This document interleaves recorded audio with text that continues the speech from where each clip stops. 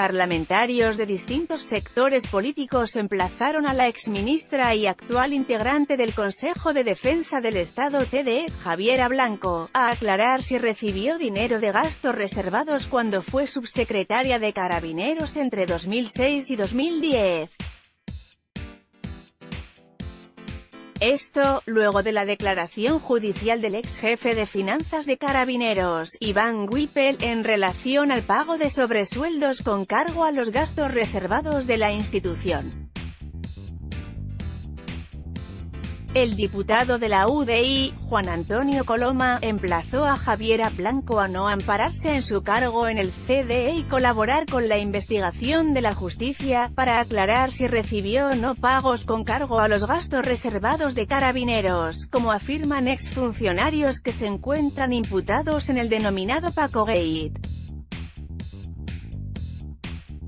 En la misma línea, el diputado de la democracia cristiana, Iván Flores, sostuvo que nadie está por sobre la ley, razón por la cual la extitular de justicia debe estar disponible para responder por las imputaciones que se han hecho en su contra.